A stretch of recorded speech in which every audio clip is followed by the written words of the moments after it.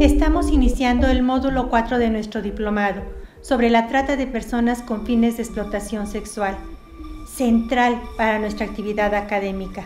Por eso les invitamos a poner especial atención en el contenido de los textos que cuidadosamente han seleccionado para ustedes las asesoras y asesores que hemos elegido y que son expertos en este tema.